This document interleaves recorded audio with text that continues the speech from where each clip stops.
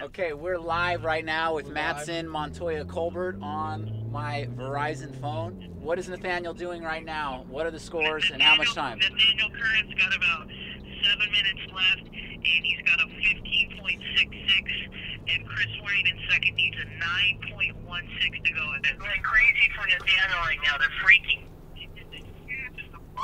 Getting the hugest applause they're claiming right now. And they're all cheering for Nathaniel Curran. It is a huge partisan crowd. Right, we're in the men's final. That's right, and the boys are outside. Time is ticking away with 20 minutes and 30 seconds remaining. Their cameras are focused right now on the man in white. That is Nathaniel Curran. Look at there, right-handed off the bottom. Correct. Oh, there's some And Nathaniel wins again. taking the win at the Honda US Open of Surfing was none other than Nate Dogg, Nathaniel Curran. Will picking up a check for $15,000.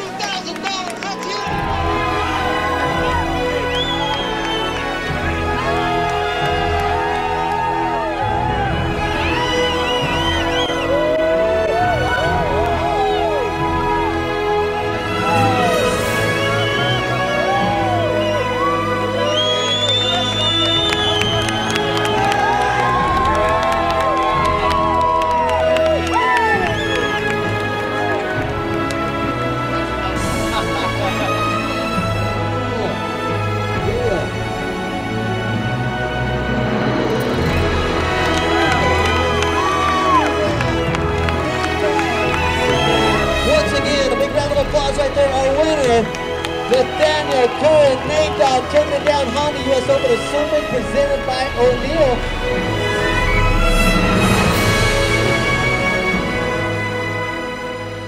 But you didn't officially know, like you, you heard like here's Yeah, no, no one ever. It was like, yeah, you won. I'm like, okay, you sure? How's it feel to win in a place where your family can come watch you and just they're there, you know? They're not watching you from the computer in a different country. um, yeah, it couldn't be any sweeter to win in front. Of, you know, I dr- dreamt of uh, winning this contest my entire life and watching my brothers and uh, and it was crazy how all my relatives decided just to come down for like vacation, a whole bunch of them, and they were all here and uh, just couldn't be happier. You know, it's just like a Cinderella story.